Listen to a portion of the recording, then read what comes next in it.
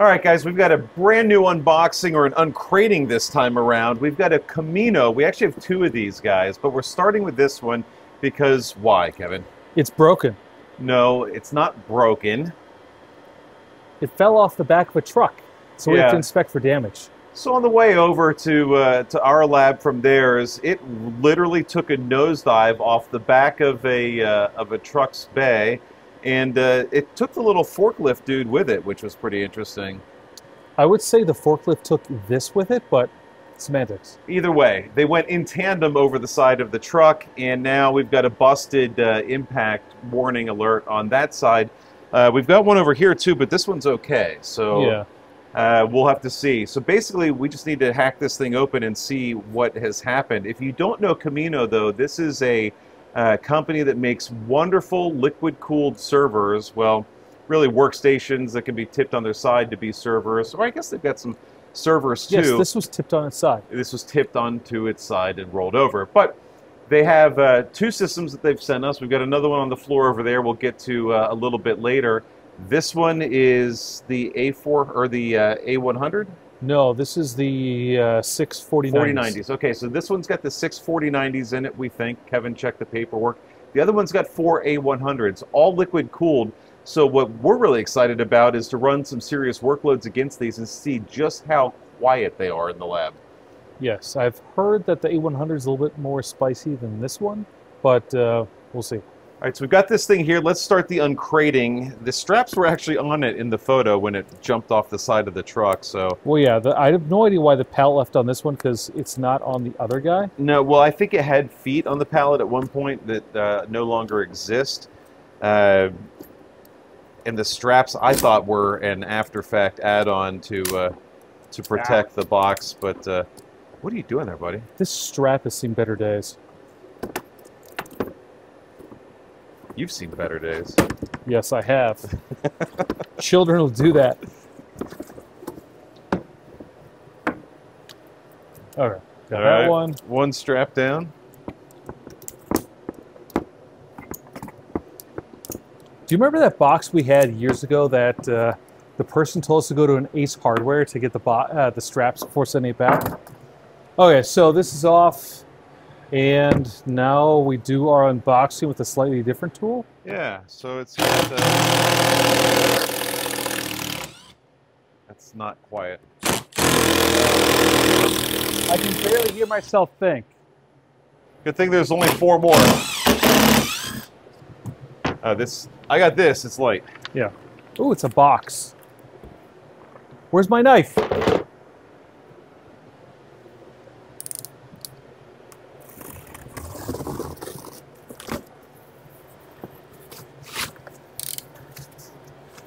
All right. Oh wow. Okay. So they sent us uh, some fancy water to get in case you get thirsty. Why is there A sport TV bottle for hydration. Uh, I'm confused by that. Yeah. TV remote. Power cables, rails. What else we got in here? Now, the good news is if we're worried about damage, Oops. there's nothing looking at this system that looks damaged. Now, this has been around the block and it's been to trade shows and it's been uh, reviewed, but uh, It's pretty tight in there. There's not a lot of slop for it to move around, so no, there's no wiggle in here at all. and fairly optimistic. So on an air-cooled platform, you're gonna have gigantic heat sinks. On a graphics card going to water-cooled, it's gonna be thinner. Uh, there's less mass to uh, really shift around. So maybe we lucked out. What's the plan? We're going to get this thing out, power it on, and see if it boots and sees everything? Because that's the only I- way we'll really know, right? That method could have the outcome of you turn it on and water starts spraying out. So I prefer getting this thing out onto the table, and then from there we can uh, figure out. No, get it onto damage. the table. I don't want to boot it from within the box. Although if it leaks water, that's probably Yeah. a better place to do it. All right, let's figure out how to get this thing out. It would have been probably easier doing this from the floor and lifting up. Okay. I think we should have consulted the how to safely unpack it before we unpacked it. It says at least two people are required to unpack and carry the device. The system is pre-filled. Fluid included in the kit is necessary to refill the device in the future. All right, so otherwise what if it's broken? we should open? be good. So let's take a crack at this. This is definitely the 44090, or sorry, this is definitely the 640 by uh, 40 by 90, 4090 system. I can see one, two, three, four, five, six GPUs back down the side, which is really funny to look at. Single wide 4090s is not something that in my mind should make sense, but uh, that's exactly how it is here because they've removed all the plastic and uh, and silly lights and uh, and turned it into uh, uh, a very very very thin single wide GPU. Pull back. Yeah. Wow, So it's yeah, black.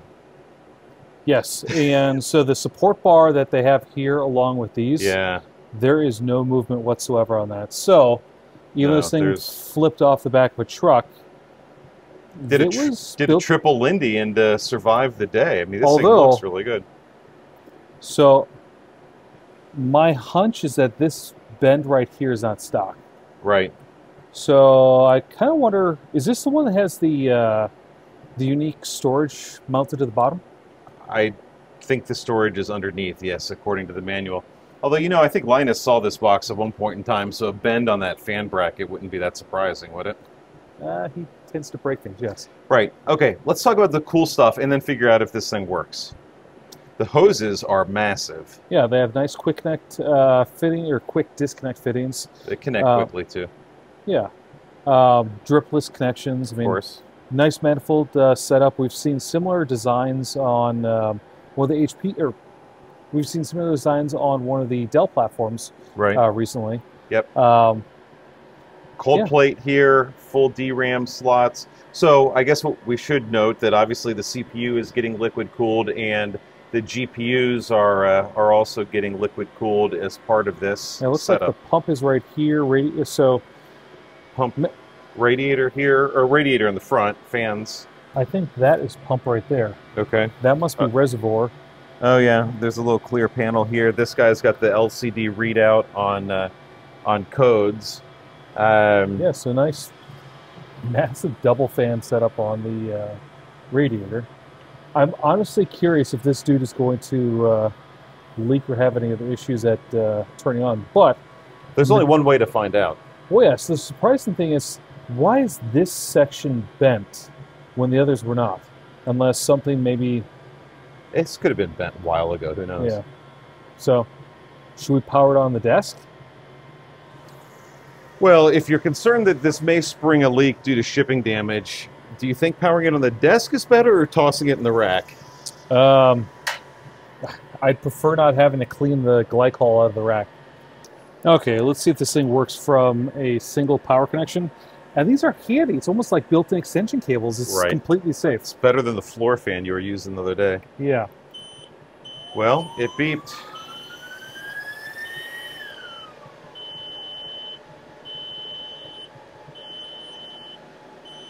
The beeps could be the fact that it doesn't have all four power supplies well, it just it just blipped and uh, and turned green a little bit.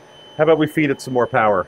All right, so we've moved the system, got dragged uh, four power cables over here, so we're near the rack but not in the rack. Before you do that, though, when you unplugged the one before, you said something. What would you say? Something about the capacitor?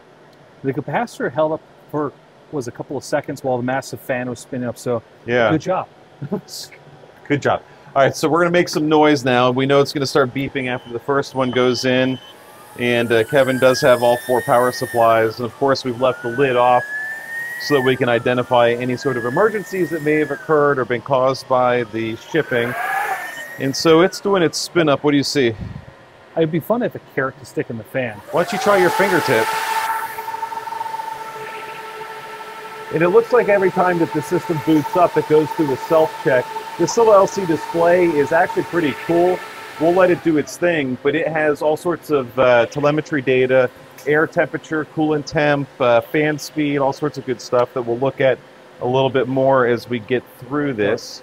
It's not beeping anymore, which is good. Kevin's So I think before it runs through its uh, self-test, confirms it can power on, and Yep. then you allow, it allows you to power it on. Okay. I see some other blinky lights, things that look to be green in here. What have you done? You hit go? It said to press in both buttons to turn it on. Okay, so we've pressed in both buttons to turn it on. So far, so good. It looks like it's an Asus board.